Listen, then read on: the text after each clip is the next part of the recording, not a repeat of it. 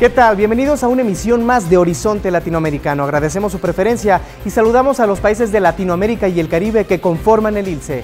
El Ministerio de Cultura de Colombia dedica el mes de septiembre a revalorar el patrimonio nacional. Este es un recorrido por la riqueza material colombiana. Fundamentalmente cuando hablamos de patrimonio material nos estamos refiriendo a dos ámbitos muy importantes.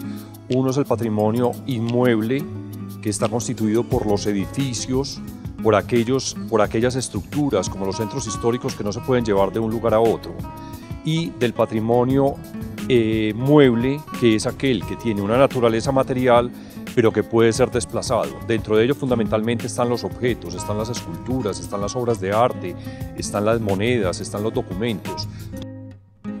Tenemos eh, unas apuestas dentro del Programa Nacional de Recuperación de Centros Históricos, como son unas intervenciones grandes e importantes en algunos de esos centros históricos que cuentan con declaratoria, particularmente en el Centro Histórico de Santa Cruz de Mompox, que como todos sabemos está inscrito en la lista del Patrimonio Mundial de la UNESCO.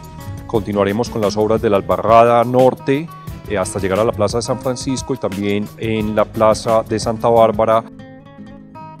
El Centro Histórico de Barranquilla tiene 100 hectáreas y como lo hemos dicho, tiene una gran variedad de propuestas arquitectónicas.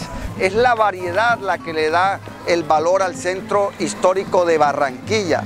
Monpós a través de sus pórticos, a través de sus ventanas, a través de sus alfajías, de sus cornisas, de su antepecho, demuestra el papel fundamental, el papel estratégico que jugó Monpox en la historia de la Colombia, de la Nueva Granada y de la Colombia colonial. El investigador Jason Brook, de la Universidad de Chicago, comprobó que los delfines poseen la mejor memoria de todo el reino animal, capaz de recordar a otros delfines después de 20 años de no verse. Los estudios se realizaron con delfines boca de botella en cautiverio. Cada animal tiene un silbido único que usa como su tarjeta de presentación. Cuando un delfín escucha el silbido de otro que conoció anteriormente, se anima y emite sonidos para sociabilizar. Los invitamos a que escuchen Radio Ilse que se transmite por su página de internet Avivar la creatividad y la imaginación de los niños es el propósito de la colección Mira y Dibuja de Editorial EDB, que dedica un número a la playa. Si en días de lluvia no puedes salir al parque, ni a pasear en bicicleta, ni a jugar fútbol, en Mira y Dibuja, la pequeña Annie y su mascota Kiwi te llevan a viajar con la imaginación a una soleada playa. Todo cuanto hay en tu casa puede servirte para crear dibujos como gigantescas ballenas, flexibles palmeras, fortachones marineros, viejos barcos, hábiles buzos, divertidos vacacionistas y escurridizos pulpos.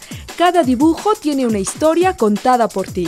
Con textos e ilustraciones de Teresa Martínez, La playa de Editorial EDB es una propuesta didáctica que conduce al niño a experimentar y generar ideas sin miedo a equivocarse.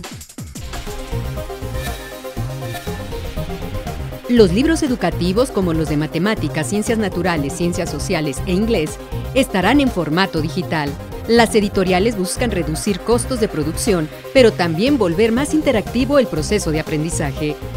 Crearon la herramienta Aprende Digital, que les permitirá a los estudiantes tener en una tablet el mismo contenido de sus libros de texto impresos.